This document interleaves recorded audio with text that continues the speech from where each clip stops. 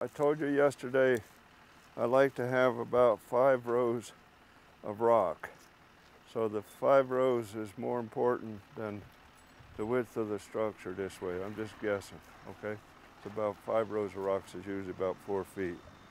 So I usually like to have this flat to about here and then these rocks on this side be a little higher than the bottom row. So on both sides. The reason for the apron is when the water falls over this layer of rock, it splashes down and it will dig a hole. Okay, this is down to a, a rocky layer that's, or it would be deeper than it is now.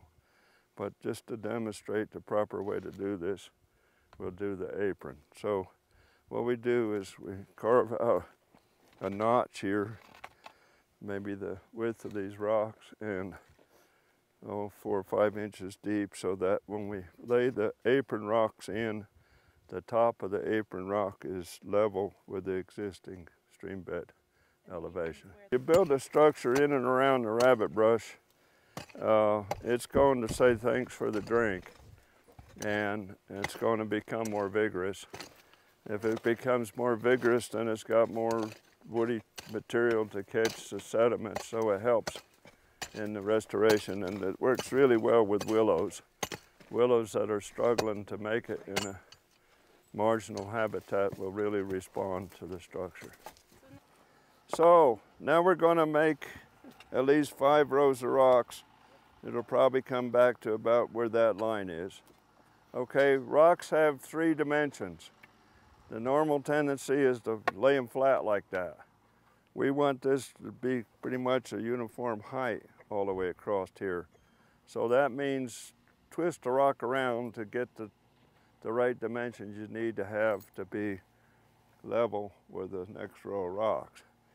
So when we do that, we, if we're stacking them with the narrow dimension down uh, for height, we call that book stacking. So just, uh, and once you have other rocks around them, they don't have to be flat in order to be stable because the other rocks are holding them in place. Okay?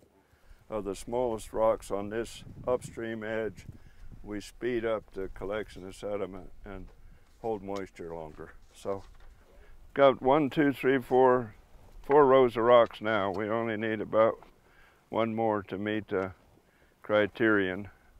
And then we still got all the little rock buffer to put on the upstream side. So we're approaching uh, completion on this one. So we need about one, maybe two rows of rocks the rest of the way across.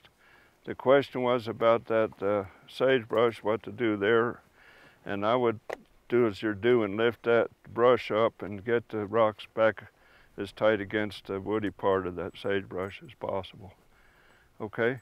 The main reason for making it this wide is so that when we add the next layer someday, if we are so inclined, when the water, the new structure will go from the middle of this one and overlap on the sediments that are going to be deposited here, okay?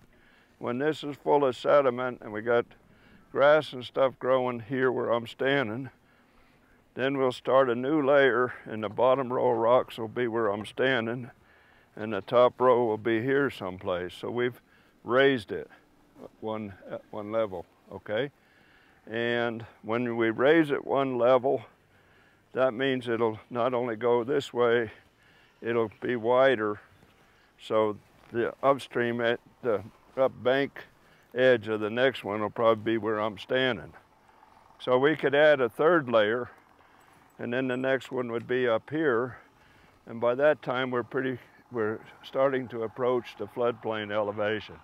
And I've added as many as three rows to quite a, quite a few projects. I don't see the need to go higher than that. I would rather spend the same amount of effort going and fixing the next gully. So what we did when we built this one, we first cut a trench and installed the footer rocks. That's key. Then we laid the rock, the first row of rocks so it overlaps the footer rock so that the water will splash onto the footers. and not dig a, a scour hole.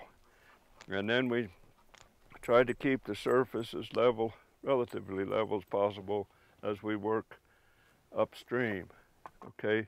And the most important thing would be to have, not to do would be to have a rock this size right here in the middle somewhere because that narrows the channel and it forces the water to go around and increases the erosive force on the downstream edge when it gets there. So that's a critical thing to watch out for.